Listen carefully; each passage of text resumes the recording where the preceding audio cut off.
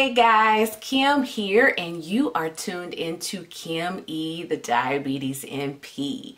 Now, today, this is a new month. We are in March, and I wanted to kind of tell you what we're going to be talking about in March.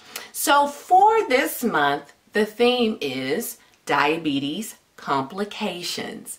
Now, I know that you all probably spend a lot of time educating your patients over the different complications and the risks that can come along with the diagnosis diabetes. This is something that we probably spend the majority of our education over. And I also realize that if you are a new nurse practitioner, this some of this stuff is probably maybe not connecting the dots for you. So I wanted to take some time to talk about this also, you may be aware that I started a segment on my channel called The Patient Corner. And for the month of March as well, I am going to also be talking about diabetes complications as well. So if by chance you find yourself not having time to explain different complications and different things to your patients, you can refer your patients to these videos. They're going to be quick. They're going to be just quick pointed videos and this can help you along with your patient education.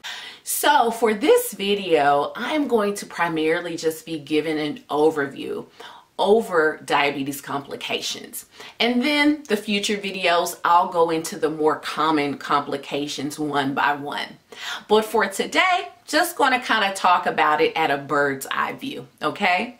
Now, we know that diabetes is a progressive disease. And because it is progressive and it affects every area of our body, from your hair, your skin, your nerves, your circulatory system, it can put people at a high chance for developing um, complications, okay?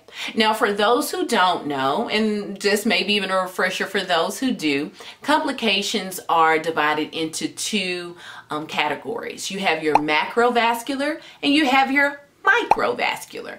Now your macrovascular talks about the damage in the larger blood vessels. So you're going to be thinking more about your aorta. You're going to be thinking about um, the vessels that nourish your heart, the vessels that nourish the limbs. That's where you would start getting your PAD. Now again, um, also the vessels that um, nourish the brain. That's where you start to see people having strokes that's your mass, your macrovascular. Now with your microvascular, you're going to start seeing the damage in the smaller blood vessels. These are the vessels that feed your eyes, where you'll have the retinopathy, the the nerves, the neuropathy, the kidneys, the nephropathy, okay? All these opathies, okay? And so that, in a nutshell, those are your two categories. Now, in the previous month, in February, I've made some videos over CAD and I also made a video over kidney disease. And so for this month, I'm not going to really be talking about that, but I will be going into um, retinopathy, neuropathy, and also be talking extensively in, in your PAD. Well, that's all I have, guys.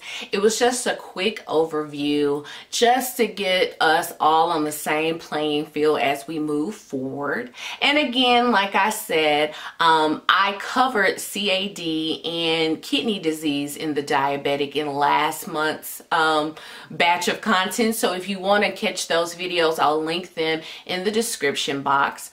Also, as well as mentioned earlier, I'm also making the accompanying videos with the patient corner. So as I'm educating my nursing colleagues, I also want to give resources if you find yourself short on time and need to have some extra education.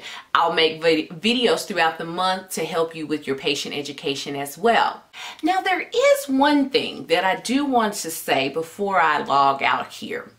Now, many of us, maybe many of us, I know for myself, I am in a lot of Facebook groups, nursing um, and nurse practitioner Facebook groups for networking, just to kind of be around my colleagues in a social setting on social media. And I'll be honest with you guys, I've come across some alarming comments and threads in these Facebook groups. And if you are a nurse, you know the term nurses eat their young. And I remember being in nursing school and hearing that. I have witnessed that.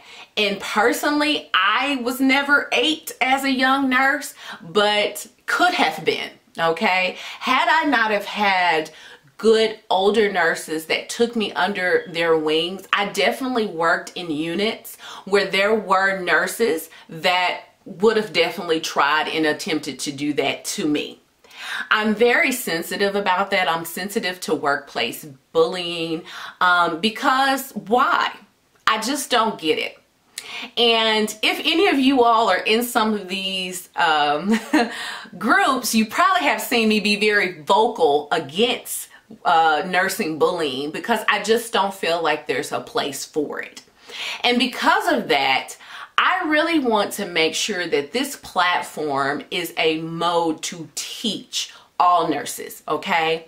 Whether you be a nursing student or NP student, you're a new nurse practitioner, even a seasoned nurse practitioner. I don't like this exclusiveness that if you have not been a nurse for so long, you can't voice your opinions. You can't talk about the things that you don't know. None of us know everything. But the best way that we can elevate our profession so we can get the respect that we need and deserve with other disciplines is if we work together and we help each other rise to the standard that needs to be out there.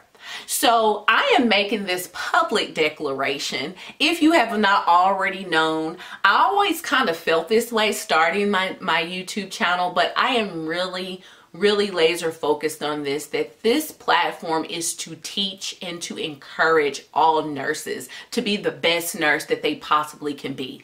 I simply want to be a resource and because of that I don't want to leave any nurse behind, okay? And that's actually probably to be my motto from here on out is no nurse will be left behind as long as you have any contact with me. Okay, guys, that's all I have for you. I know that last little bit was a little bit of a rant, but I really feel passionate about this stuff, okay, guys? So if this is something that you all, uh, you like and you're really digging what I'm doing here. If you are new, go ahead and subscribe for me. Ding that notification bell so you do not miss an upload.